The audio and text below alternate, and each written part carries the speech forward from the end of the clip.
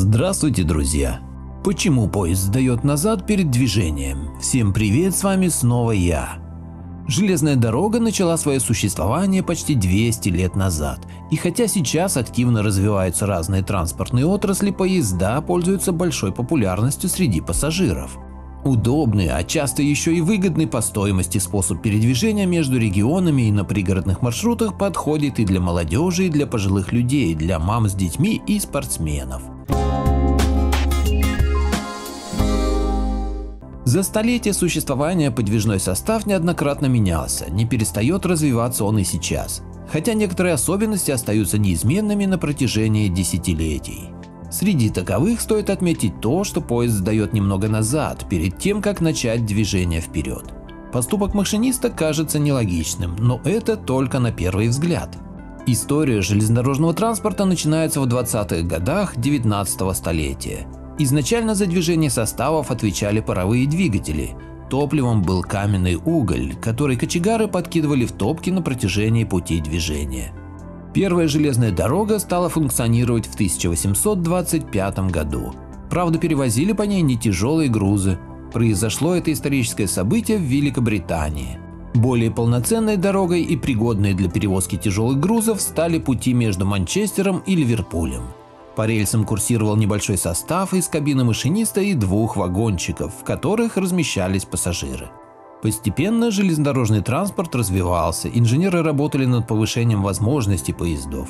Для этого они создавали более мощные двигатели, тщательно продумывали все конструктивные особенности. Еще тогда, на заре зарождения железной дороги было замечено, что пути нельзя прокладывать через высокие горы, и поезд должен сдавать назад перед движением вперед. С первой особенностью все ясно. Чтобы поднять многотонную массу на гору, необходимо двигатель невероятной мощности. Проще построить объездные пути. Со вторым пунктом сложнее, но достаточно знать законы физики, чтобы дать им логичное объяснение.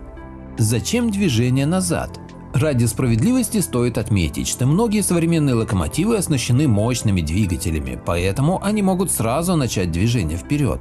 Старые локомотивы похвастаться такой возможностью не могут. Причина довольно проста и банальна, но чтобы найти ответы на интересующие вопросы, необходимо подробнее рассмотреть начало движения с физической точки зрения. Чтобы тронуться, локомотиву необходимо сдвинуть с места огромное количество вагонов, общая масса которых довольно внушительна. Из-за сил трения, возникающей между колесами и рельсами, сделать это трудно. Точнее, возможно только при наличии мощного двигателя. Если машинист делает движение назад, толкнуть вагоны проще, чем потянуть за собой. Натянутое сцепление между вагонами ослабевает. При последующем движении вперед локомотив приводит вагоны в движение по очереди, а не все сразу. В связи с этим и тяговые усилия требуются значительно меньшие. Простой прием помогает набрать двигателю обороты и развить необходимую скорость для движения. И хотя в некоторых поступках иногда не видна логика, достаточно присмотреться поближе, чтобы понять, что все логично.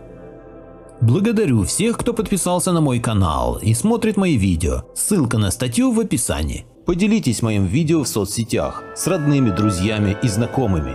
Люди имеют право знать все точки зрения. Всем спасибо за внимание, буду рад вас видеть на своем канале снова.